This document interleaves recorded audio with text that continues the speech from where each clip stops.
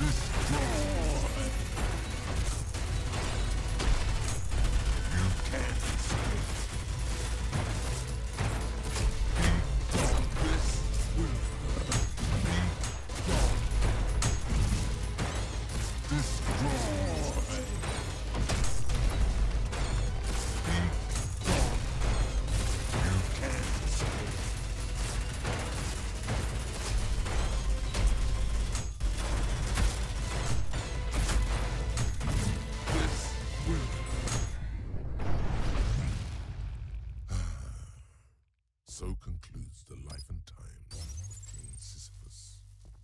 A fitting end to an existence defined by futile struggle. Doomed from the very start. And I don't regret